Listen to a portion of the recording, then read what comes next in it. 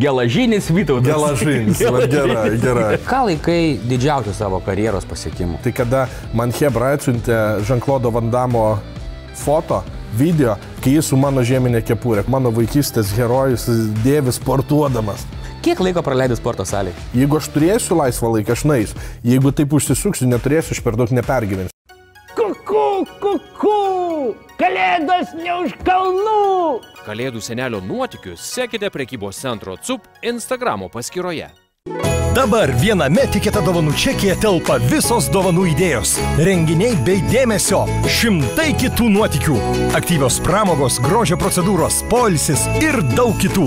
Išsirinks kiekvienas. Net 12 mėnesių galiojančio tikėta dovanų čekio ieškokite tiketa.lt. Sveiki, Delfi draugai, su jumis sveikinasi laida Mano pramogos veidai iš Delfi TV Lounge Siemens arenoje. Atlikėjas, verslininkas, aktorius. Tai va tiek ponai ir ponios, sportininkas Vytautas Medineckas, Iron Vytas. Sveikas, Vytai. Labas, aš tikėjausi, kad sakysi, nuostabus žmogus.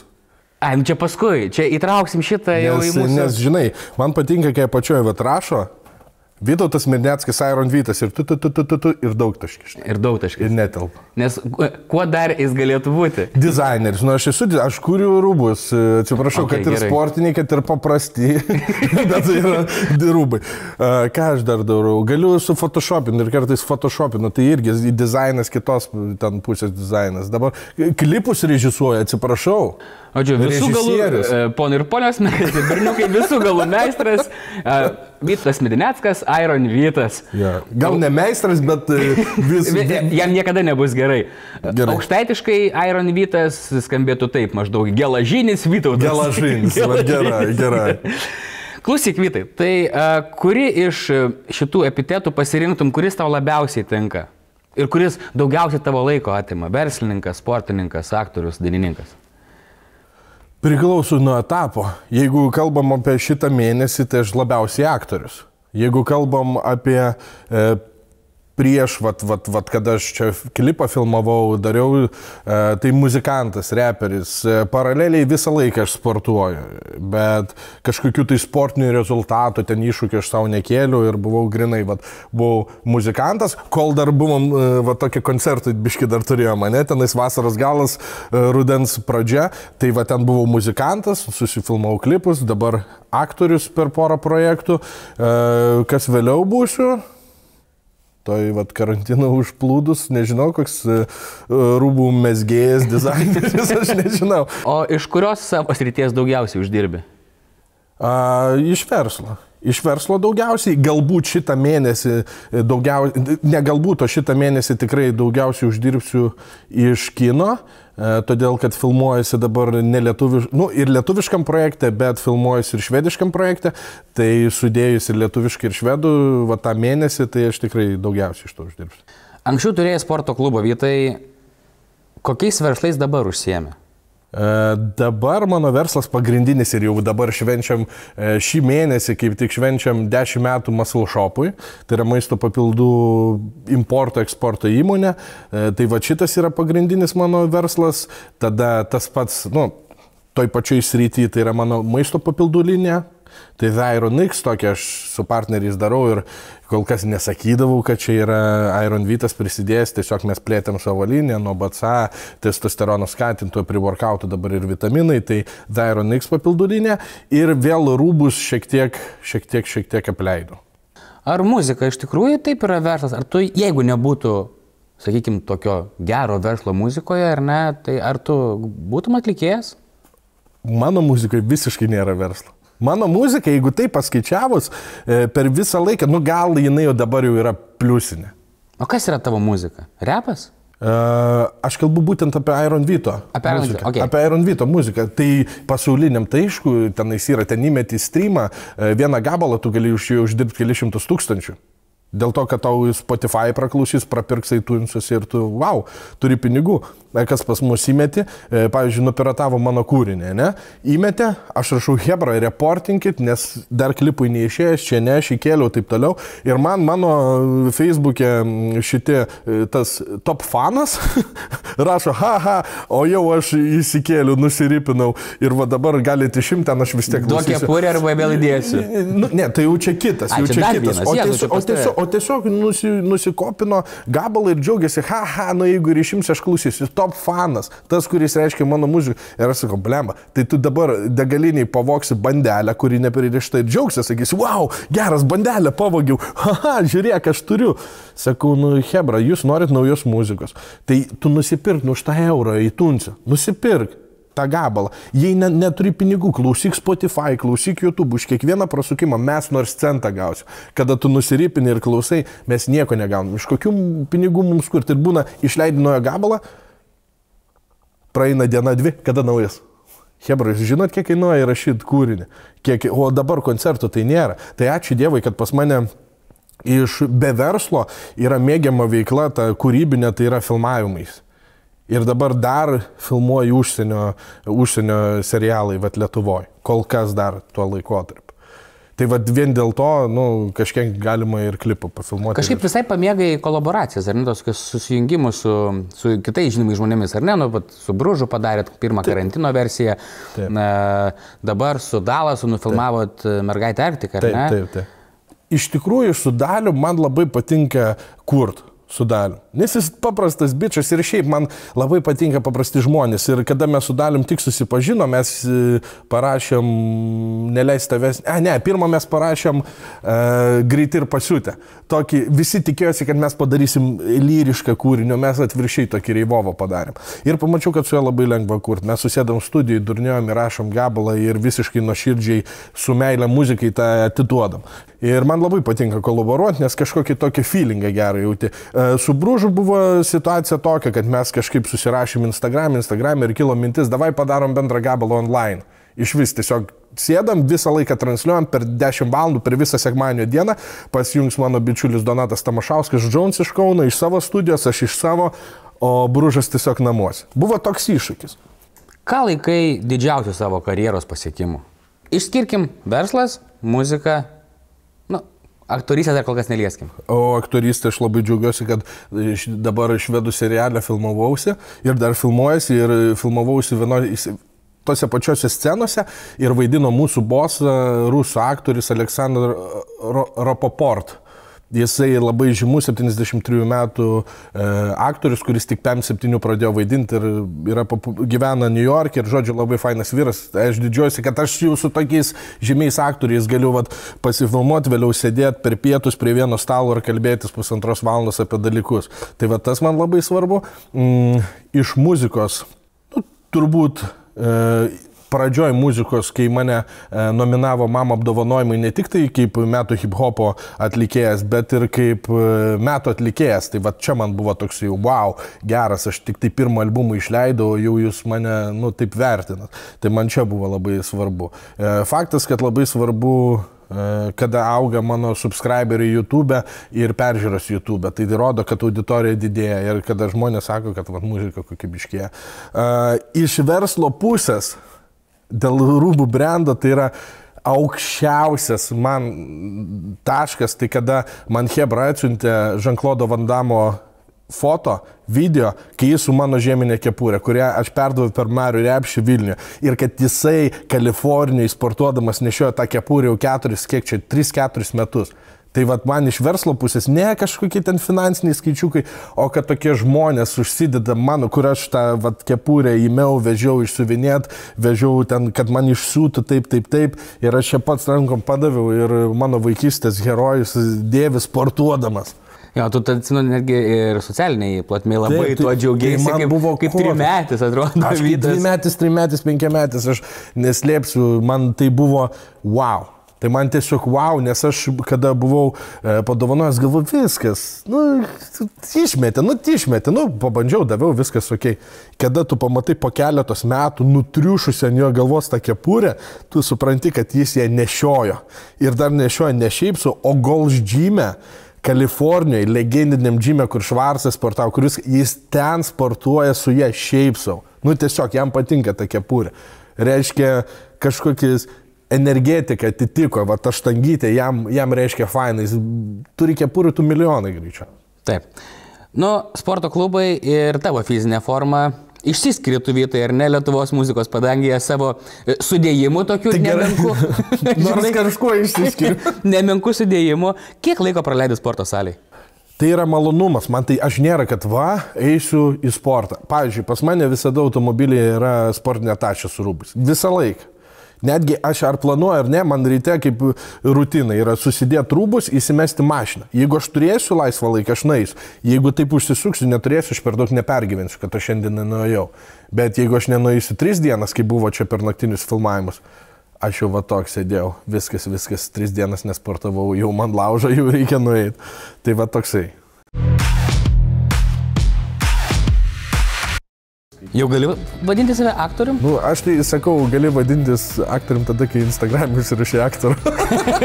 Ir ta, ta sporto salė buvo apvokta. Šūdžiai sportininkai, kurie nesidalino, nusinešė savo į rūsį. Kuku, kuku, kalėdos ne už kalnų. Reikia bėgti ieškoti dovanų. Dovanos CUP priekybos centre. Dabar viename tikėta dovanų čekėje telpa visos dovanų idėjos, renginiai bei dėmesio, šimtai kitų nuotikių, aktyvios pramogos, grožio procedūros, polisis ir daug kitų. Išsirinks kiekvienas. Net 12 mėnesių galiojančio tikėta dovanų čekio ieškokite tiketa.lt. Kuku, kuku, kalėdos ne už kalnų.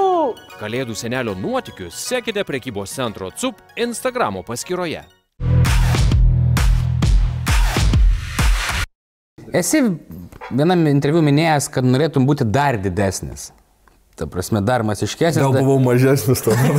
Ar vis dar ta pati mintis yra pas tave? Būti dar didesniu. ne, aišku, noriu aš būti didesniu, bet dabar pas mane kiti biški prioritetai. Aš noriu funkcionalesnis būti. A ne dėl to aš daugiau boksuoju. Dėl to mano svoris viruoja tarp 110 ir 115. Ta. Aš žinau, kad aš galėčiau priaugti daugiau, bet aš tada lėtesnis pasidarau, man boksuoti sunkiau. E, Aš dabar išsprendžiau tokią problemą, kad kadrai geriau atrodo, aš dar kaklą papildomai darau. Vietoj to, kad, nu, nes tave filmuoja iki tiek ir kad man atrodyt kadre masyvesniam, man pakanka storesnio kaklo, tada aš atrodau masyvesnis. Jau Nu, tai aš- mano kaklą čia matau kažką, čia išnaudoju, kad pas mane kaklas planytis. Ne, tai tu golfą užsidėti nesimato. Bet, bet esmė, kad man, pavyzdžiui, va dabar po šitos laidos važiuosiu pas kaskadininkus mokytis triukų serialui. Man jau mano sudėjimas trukdo. Aš jau kažkur tai nukris netaip galiu. Ir taip toliau. Man, nu, svoris didelis, galiu žiepti labiau. Kas yra sudėtingiausia turint didelį raumenyną, didelis raumenis? Kas tau sunkiausia kasdieniam, kas žmogui paprasta? Išsirinkti rūbus. Čia yra pats pagrindinis dalykas. Sunkiausia išsirinkti rūbus, e, tada įsisėsti į savo kitą antrąją mašiną kabrį, kad ta ta maža. Tai vad būna įlyst sunkiau. Nu, nelabai patogu, kai stogas uždarytas. A, Kada dalyvau ten projektuose, tikri vyrai, tai per visokias kliūtis, karinis projektas, tai ten buvo sunku. Bet šiaip gyvenime dažniausiai su rūbais tik tai problemos. Nu, va šiandien e, praeitam prieš tai filmavimo reklamą suplėšiau kelnes, nes buvo aptemta. Vėl reikėjo rūbai. tuptis. Vėl rūbai. Nu tai va, va šitas. Daugiau sudėtingumo nėra, jeigu darai e, vaikai, mano mėly, tempimo pratimus. Dėl to, kad pradžioje aš atsimenu, kol tu sveri 90, tu vad nori visada aš sėdėčiau, žinai, vad specialiai pasiraitočiau rankovės ir aš sėdėčiau va taip.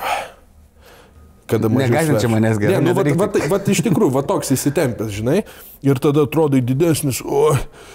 Ir viskas, tu tampi nepaslankus, bet tu kai pradedi daugiau boksuotis, daugiau tempimo pratimų. Plastikos tada, daugiau Taip, tada atsiranda. tu va, sėdi, nu tas rankos jos išsitęs, jas nieko baisaus, nu ten gali visur, žinai, pasimti savo, nieko baisaus. tai va, reikia būtent tą nepatogumą kitokiu sportu taisyti. Dar vienas tavo gyvenimo etapas, ir kuris, na, dabar tikrai didelę dalį tavo laiko suvalgo, tai yra vaidyba. Televizija ar ne, kinas.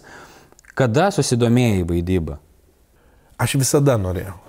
Aš jau kaip ir muzikos visada norėjau. Jau toks buvau- narcizas, jau taip nori visą laiką būti visur. jisai, Nu, bet aš nežinau, ar čiū, galbūt ir narcisizmo, jo. Bet e, vėl čia kaip vaikui, nu, 90-ųjų vaikui, kuris žiūrėjo visus filmus su Švarsu, Stalonė, Rembo, Vandamu ir visų kitų, ne veltui jam kačialintis. Tada tu žiūri tos ir galvoji, va, tu lėktum su automatu, toks iššaudytum, nu, filme, nu kur tu gyvai pašaudysi su automatu. Ir norėjusi, va, suvaidinti, būti kitapus ekrano. Man visada kažkodėl tai norėjusi. Norėjusi muziką padaryti, kad Man visada įdomus būdavo procesas. Sėdi, kažką darai, darai, darai ir finalinį procesą klausai, ne, gabal. Kaip ir verslas. Darai, darai, darai, sugalvoji mintį, noriu parduotuvės. Ir jinai atsiranda ir tu vėliau sėdi ir žiūri, o geras yra. Tu sugalvoji, atsiranda. Tai su muzika taip pat. Noriu kompaktą išleisti. Darai, darai, darai išleidai. O, norėjau, padariau. Taip ir kažkurio metu atsirado, kad noriu vaidinti, noriu nusifilmuoti. Buvo viduj kažkokios ambicijos, nusifilmuoti lietuviškam filmui, padaryti lietuviškam filmui soundtracką, būti atpažįstamam kaip aktoriui, e, kad būtų toksai e, statusas aktorius ir kada mane ten jau uh, užsienio filmas, ne, nu, vad pristat, kur, aišku, Lietuvoje filmo. Nu, tai va, aktoriai, aktoriai įringa, įringa, sakau. Matai, kaip, kaip tavyje maišosi. Ja, bet įringa spo- irgi, žinai, įdomu būtų. Tai va, e, ateikit, ateikit, nu ir aktoriai, ir toksai, taigi aš ne aktorius. Taip, ašgi šiaip nubičias, kuris susimanė, bet vėliau žiūriu savo filmografiją, tą visą, kiek prisiu, ai, nu jo, gal ir, gal ir galiu. Jau gali vadinti save aktorium? Nu, aš tai sakau, gali vadintis aktorium tada, kai Instagram užsirašė aktorių. Nu, kaip tu patekai? Aš Čia- esu į MDB, atsiprašau, kažkas mane užregistravo ir aš ten nesu. tai Sere, aš jau- kelių ranka, Aš jau atleiskit. galiu vadinti. Ne, tai aš aiškiai ironizuoju. Nu, ta prasme, aš suprantu, kad aš esu lievas aktorius. Aš suprantu, kad aš... Bet žiūrėk, jeigu tu būtum lievas, ves niekur nekviestų. Ar tave kviečia dėl- ne dėl to, kad tu gerai vaidini, o dėl to, kad tu gerai atrodai ir tave reikia į blogiuko kažkokio tai Aš personažo? manau, kad pagrindinis dalykas, kad tu gali blogiuko, tavo išvaizda čia pirmoji vietoje, visada, visada pirmoji vietoje. Režisierius žiūri, kaip tu atrodo, ar tu tinki į tą vaidmenį blogiuko ar ne. Ok, jeigu tinki, tada žiūri, ar tu mokybiški vaidinti, tada tu pasidarai castingo video. Pažiūri, ai, tu mokybiški vaidinti, tai čia visas komplektas. Ten nu, faktas, kad aš kažkokio kito personažo ten labai neišvaidinčiau greičiausiai, čia reikia praktikos ir taip toliau. Gerai, o koks vaidmuo labiausiai atspindėtų tave patį? Nes šiaip, aš užbėgsiu, nu, va, taip, į priekį dar ne prieš klausimą, kad kai aš, kai mes susipažinom pirmą kartą, aš tave pa- pamačiau tave, tu man rodai tikrai, ne tik, kad gali vaidinti blogiuką, bet ir esi blogiukas, ir esi didelis vyras, tu atrodo toks grubus ar ne, bet kai tave vytai pažįsti, tarsi, tu, tu kaip lemba, net nežinau, kaip dabar gražiai pavadinti tave, žinai, nu, toks, toks, nu, toks Čia, žinai, kaip kaskadininkai. minkštas, pukuotas meškinas, Jo, žinai. kaip kaskadininkai, žinai, vad irgi iš pradžių. Taip, taip, Vytautas, Vytautas su jumis bus, taip, va, taip, Vytautai. Aha, Vytai, Vytai, Vytai, aha, vėliau ant galo. Nu, Vytuk, tai va dabar taip. va dabar paskutinį, man ir toks čekas. Nu, Vytuk, tai va dabar taip krisk, va klausyk, Vytuk. Nu, tai va, tai. Uh, Vėlgi, tai aš turbūt ir dar, ne, ne, nežinau, aš gal ir darau kartais e, specialiai e, daugiau veiklų, kad suprastų, kad ne visada įspręskit pagal išvaizdą, ne visada galvokit, kad e, kačiokas, ne, ten raumeningas žmogus, jis yra piktas ar kažkoks tai blogas. E, Nu, žinai, atrodo, kad kačiokai nedavalgiam, žinai, jūs ten ant tų dietų sėdėt, žinai. Ne, nu, faktas- ne, tai faktas- Augalas lygų piktas. E, Faktas, kad impulsyvus, faktas, kad e, būnam ir pikti, tai visokie žmonės būna. Tiesiog, kai su manim gražiai bendrauja, aš gražiai bendrauju, man nebūna kažkokia. Jeigu faktas, kad ant manęs ten kažkas tai kažką tai blogo daro, pas mane įsijungia tas vaikystės aš, kur, kur, kur rajonis aš ir kur tu augi, kur tu būni, e, tai kažkas tai dalelė ir palieka tau. Nu tai viskas. Ir važiuojam tada prie paskutinės mūsų rubrikos, Vytai. Na, na. Prie fotofono. Nu, nu. Mes turim nuotraukų. Aha. Pakomentuosim jas šiek tiek, gerai tam? Gerai. Važiuojam. Kas čia per nuotrauką, Vytai? Bet čia sena nuotrauka. trys medinėtskai princesių namuose. Taip, Ai, tu tas kairėje, ne? taip. Kas čia? Kas čia Čia esu aš, čia yra mano tėvas Gediminas, o ten yra mano brolius Tadas. Ar esi artimas su savo šeima? Taip, taip, taip. Šventės, tas tokias Ne, kalėdas. nu, mano tėvai yra įsiskyrę, nu, kai man buvo ten 7-6 metai kažkur tai taip. Tai uh, su mama švenčiam, su tėvu atskirai nuvažiuojam pašves, nu, atskirai pas jį į namus. Uh, tada susitinkam kažkokiam, tai tiesiog nereikia, nebūtinai ten progų, ten per gimtadienis pasisveikinam. Kad specialiai va taip jau eit ten kažką, tai, nu, Antra nuotrauka. Nu va, šitą temą gal dar nepalėtėm čia su mūsų žiūrovais. Sporto salė, Lietuvos pajūris, graži ta mūsų palanga. Kokie prisiminimai jau iškart pamačius? Žiūri visi gerai? Žiauriai gerai. Na. Aš vat pasižiūrėjau, nu vat šitą nuotrauką, aš atsimenu šitą savaitgalį kaip žiauriai, žiauriai gerą savaitgalį. Pasakišką savaitgalį. Nes tada mes nuvarėm visam porai dienų, e, sutvarkėm, pakabinom va tą kreužę, kurią suplėšė už dviejų savaičių ar už savaitės, nesmė. Pasportavom, moras buvo fantastiškas, pasaulio ir pasideginom, ir pasportavom. Nu, nu, nesveikai geras laikas. Va būtent va šitą va Tu nuotrauką. niekieno neprašytas realiai, pats savo iniciatyvą atidarėjai A, trumpam sporto salę paplūdimį, ar ne? Ir ta, ta sporto salė buvo apvokta, sakykime. Na, va, ta- ta- tas žodis apvokta. Nu, pavogė Hunteris. nu, apvogė. Nu, apvogė. Meta, metalistų darbas. Išsin, nu, aš tikiuosi, aš labai tikiuosi, kad tai buvo narkomanai, kurie pridavė ant metalų ir gavo savo narkotikams, o ne e, šūdžiai sportininkai, kurie nesidalino, nusinešė savo į rūsį. Gerai, važiuojam toliau. Dar viena nuotrauka tavo ir žiūrovų dėmesiui. Nu va. Kalijanas. Iš kur tokių senų nuotraukų? Dar daugiau pastorink, dar daugiau padėliok ir turėsim dar netokių čia atskirą galėsim laidą apie tai padaryti. Klausyk, Kalijanas. Taip. Tikrai, ne vienam story, ne vienoje tavo nuotraukoje galima tokią nuotrauką pamatyti su Kalijanu. Ar taip apdovanoji save po sporto? Taip, tai yra proteininis dūmas. Iš tikrųjų, e, aš nevartoju alkoholio, nevartoju narkotikų, e, nerūkau cigarečių ir e, kalėnas yra vienintelė blogybė, kurią aš renkuosi. O dėl ko aš renkuosi? Nes tai yra toks dalykas, socialinis dalykas. Aš į tai žiūriu kaip į kažkokį ritualą. Mes sėdim su Hebra ir jį rūkom ratu, kalieną, lengvas dumelis, mes pasėdim gražiai, jį gali kalieną užkūręs pusantros valandos padūmint. Tai man patinka tai pats, pats procesas, jo užtaisimas, jo paruošimas, visa kita ir tada su draugais pasėdėjimas. Ir bendraminčių pas mane rate labai daug kalienų mėgėjų. Kiek metų nevartoji alkoholio visiškai? Nes, nu, jau Ne, nu, kas visiškai, tai aš ten kažkur tai užsienį, kai man paragau duoda ten alaus, ten 14 laipsnių, tai buteliuką ant 3 išsipilį paragauji. Kažkokių naujų ten alkoholinių gėrimų tenais, e, kažkokie ryžių degtinė, ten kažkas atvežinu paragauti, aš galiu ten tą 50 ml paragauti, bet kad jų gerti tiesiog aš neatsimenu, 10 metų tai tikrai. 10 metų tai tikrai. O vaikystėje buvai padukelis? Jo, nu mes nuo 13 metų atsidarėm malaus butelį, atsimenu, pas e, bičiulį namuose. Kas irgi nėra gerai. Kas labai yra blogai, atsidarėm, atsimenu, du butelius ant trijų, man atrodo, išsipilstėm į gražius e, aristokratiškus porceliano podelius ir va taip išgėrėm. Ir nuo tada prasidėjo, o, faina, reikia, reikia, reikia, reikia, reikia, o tada balevom, balevom, balevom ir supratau, kad man tai daug laiko atima ir matau, kaip mano kiti draugai nieko nepadaro ir aš nenorėjau. Ar tas vartojimas toks, sakykime, didesnis baigėsi su lik pradėjimu aktyviai sportuoti? Ne, ne. Aš dar švesdavau savo štangas paspaudimą. Aš atsimenu, paspaudžiu 675, nupirkau bambalį alaus, varėm su draugai švesti ir sakau, žinot, už ką gerim šitą. atsimenu šitą puikiai ir atsimenu, kaip atsirakindavom salę mokykloje sporto ir kartais ateidavom pasportuoti, kartais pagerti ir mano draugas gėrė bambalį alaus ir žiūrėjo taip į veidrodį. Kaip bitskė Jo, dirba. ir sakau, tu žiūri, kaip bicas atrodo gerai. Jo.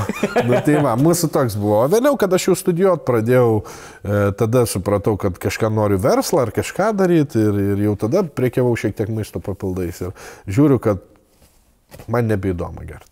Nu va, mėly draugai, mūsų a, toks yra Iron Vytas, Vytas Medineckas. Ačiū tau už skirtą laiką mums ir Delfi žiūrovams. Ačiū. Bam, išdavikas, niekam nerodė. A, niekas nematė, kad čia yra tarp mūsų. Tai va, tai žiūrėkite mano pramogos veidai, pasikalbėjimus kiekvieną sekmadienį per Delfi TV. Ačiū Delfi TV Lounge'ui, ačiū On Stage už šį ekraną. Ir iš karto po mūsų pokalbio su Vytu įsijunkit Facebook profilį mano pramogos. Ten laukia klausimas iš mūsų pasikalbėjimo. Atsakot, laimit prizus. Tai ačiū, kad žiūrėjot. Pakeliam. Viską, vis kažką, aš kas antrą, kas antrą pokalbį mes pakalbėm. Nu tai gerai, bam. Ačiū, kad žiūrėjote ir susitiksim kitose pasikalbėjimuose. Kuku, kuku, kalėdos ne už kalnų. Reikia bėgti ieškoti dovanų. Dovanos CUP priekybos centre.